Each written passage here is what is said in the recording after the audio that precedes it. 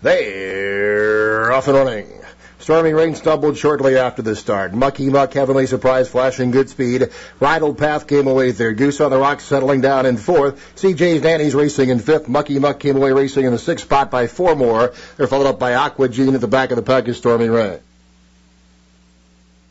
Heading down the backside now, Primetime Lassie by a length and a half. The Heavenly Surprise in second, and Bridled Path will track from third. Goose on the Rocks is fourth. Mucky Muck five off the pace now and under pressure fifth. CJ's Nannie next by four more to Aqua Jean and Stormy Rain. At least 14 lengths off the pace of the back. The quarter was fast. 21 and 2, rounding the turn to the quarter pole. Primetime Lassie in front by a half a length now. Heavenly Surprise and Bridled Path ranging up three wide third. Goose on the Rocks revving up fourth by six more to Mucky Muck as they straighten away in a stretch drive. Primetime Lassie headed by Bridled Path. Bridled Path and Robby Albarado taking the lead in a kick clear by two. Primetime Lassie second. Goose on the rocks on the far outside. Final furlong. It's Bridled Path in front now by nearly three. Goose on the rocks on the outside up into second. Primetime Lassie Heavenly Surprise. Another winner for Robby Albarado. Bridled Path winning it by four. Goose on the rocks was second. Primetime Lassie third. Heavenly surprise fourth.